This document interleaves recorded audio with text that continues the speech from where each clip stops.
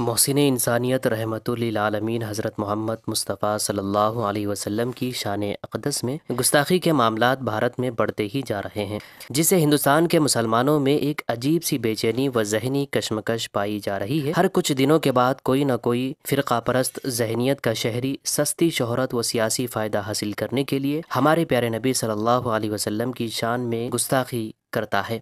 हालाँकि इन गुस्ताखों के खिलाफ मुकदमात दर्ज ज़रूर होते हैं, लेकिन उनकी गिरफ्तारी अमल में नहीं आती। इसी ज़िमन में नांदेड़ के दो जियाले नौजवानों ने जज्ब ईमानी और अपने प्यारे नबी सल्लल्लाहु अलैहि वसल्लम की शान अक़दस में गुस्ताखी करने वाले रामगिरी महाराज की गिरफ्तारी का मुतालबा करते हुए नांदेड़ ज़िला कलेक्टर ऑफ़िस के रूबरू गुज्त एक रोज़ से भूख हड़ताल पर बैठे हुए हैं।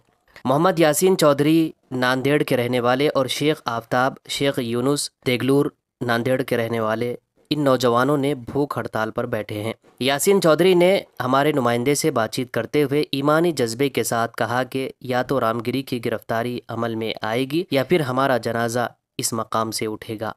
हमारे नबी सल्लल्लाहु अलैहि वसल्लम की शान में गुस्ताखी हमें बर्दाश्त नहीं है। मलून के ख़िलाफ़ एफआईआर दर्ज हुई, लेकिन हम उसकी गिरफ्तारी तक भूख हड़ताल पर बैठेंगे। शेख आफ्ताब ने भी कहा कि हमारे हुजूर सल्लल्लाहु अलैहि वसल्लम की शान में गुस्ताखी किसी भी मुसलमान के लिए नाकाबिल कबूल है। उन्होंने नांदेड़ के नौजवानों से अपील की कि नमाज़ हमारे नबी सल्लल्लाहु अलैहि वसल्लम की आँखों की ठंडक है। इसलिए वो हर नमाज़ में दुआ करें कि अल्लाह इस मलून को नीस्त व नाबूद कर दे और हमारी हिम्मत अफजाई व कामयाबी के लिए दुआ करें। नमाज़ जुमा के बाद बड़ी तादाद में मुस्लिम नौजवान हड़ताली मकाम पर पहुँचे और नौजवानों की हौसला अफजाई की। इसके अलावा मुख्तलिफ़ समाजी सियासी पार्टियों के लीडरान भी यहाँ पहुँच कर अपनी तायद व हिमायत का ऐलान किया है। दोस्तों, इन नौजवानों के बारे में आप कमेंट बॉक्स में एक प्यारा सा कमेंट ज़रूर लिखिए।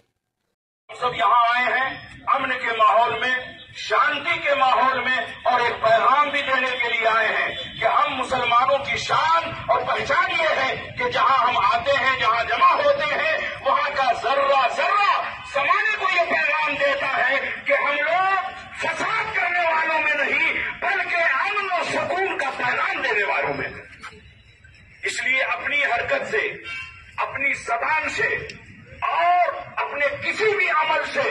कतान ऐसा मैसेज आप न दें कि जो हमारे लिए, आपके लिए तकलीफ़ का सबब बने। इसलिए आपसे गुजारिश है कि जो हमारी मांग है, हम आप सबकी जानब से, हमारे दीन शहर की जानब से और ओलमा की जानब से, हम यहाँ के प्रशासन से ये मांग करते हैं कि हुकूमत हिंद तक हमारी ये मांग पहुंचाई जाए, जिसने किस्म की बकवास की है, उसे फ़ौरन गिरफ़्तार किया जाए और सख्त से सख्त उसे सजा दी जाए। सरकार आला फरमाते हैं, अल्लाह की सरताब कदम शान है ये। इंसान नहीं इंसान, वो इंसान है ये। कुरान तो ईमान बताता है इन्हें, ईमान ये कहता है, मेरी जान है तो अल्हम्दुलिल्लाह, सरवर कायनात, सल्लल्लाहु अलैहि वसल्लम, हम अहले ईमान की जान है।